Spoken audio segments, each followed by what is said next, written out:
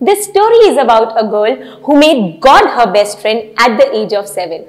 With troubled home environment, talking to God and sharing her deepest thoughts with him gave her all the strength in the world.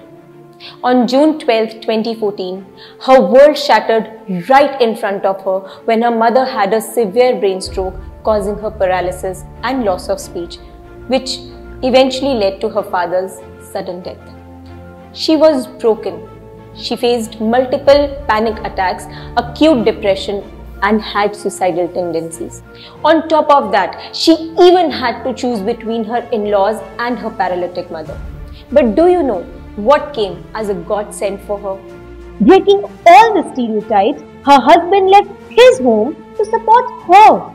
With her nine months old daughter in hand, she rose above all the circumstances with her firm faith in God.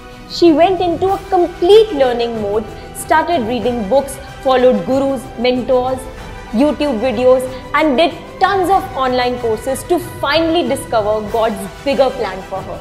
And today, she is a successful life coach, helping people heal from their traumas and living a life of contribution. This is my story story of unshakable trust in God and His plans.